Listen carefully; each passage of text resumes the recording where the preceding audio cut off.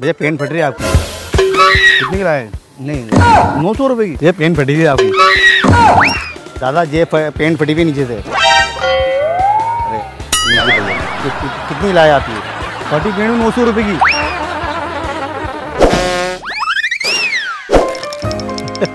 ये पेन फटी हुई है आपकी। कितनी की लाए? नौ सौ रुपये की। इतनी महँगी? वो क्यों? साबुत साबुत ही।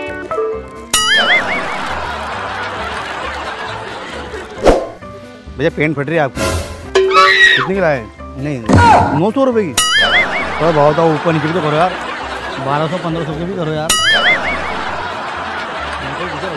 आप दे बस तो पेंट फट रही है आपकी। कोई कहाँ से लाया हो आप ये? हैं? एक बोलने का भैया जितने बार निकल रहे हैं आपके यार। हैं? भाई पेन फट रही है आपकी पूरी यार। कितने की लाए? मुझे दिलाओ ना बाबा यार यार। ज़्यादा महँगी नहीं है, मौसम में तो महँगी है बाबा यार।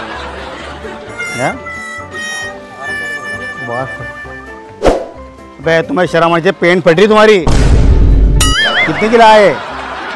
मुझे भी नौ सौ रुपये ला दी। हैं? फटी पेन नौ सौ की ला दो। साबुत ही लिया था। दादा ये पेंट फटी हुई नीचे से। अरे, कितनी लाए आप ये? नौ सौ रुपये की लाए इतनी महँगी? हैं? अरे भाई साहब, पूरी पेन फटी है तो ढंग पेन आते यार। कितने की लाए नौ सौ की लाए इतनी महँगी भी लाए पेन ही फट रही है आपकी यार ये। है?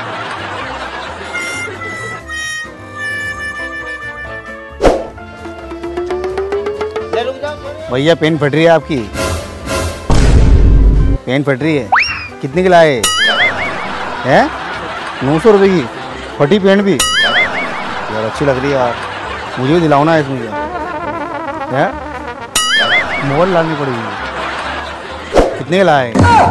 नौ सौ रुपये कितनी महँगी फटी पेन नौ सौ रुपये की। नौ, ज़्यादा महँगी नहीं है, नौ सौ रुपये की। हैं? मुझे लाओ दिला के यार। भैया प्रैंक कर रहे थे, मज़ाक कर रहे थे। और भैया क्या पेन फटी भैया आपकी? अरे वो उनकी।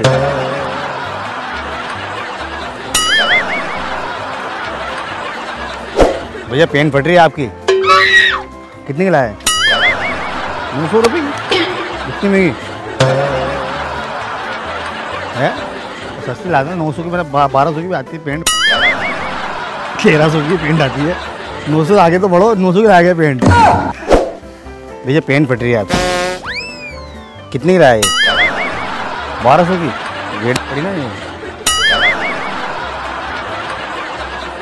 ना पेंट फट रही है, थोड़ा देख लो यार। पेंट फट रही है। कितनी लाए नौ सौ रुपये की फटी पेंट भी। इतनी महँगी। कैसे पड़ते मांगी तुम्हारे यार भैया पेंट फटी हुई आपको। कितने की लाए? नौ सौ रुपये की। कितनी भैया पेंट फट रही है आपकी यार पूरी।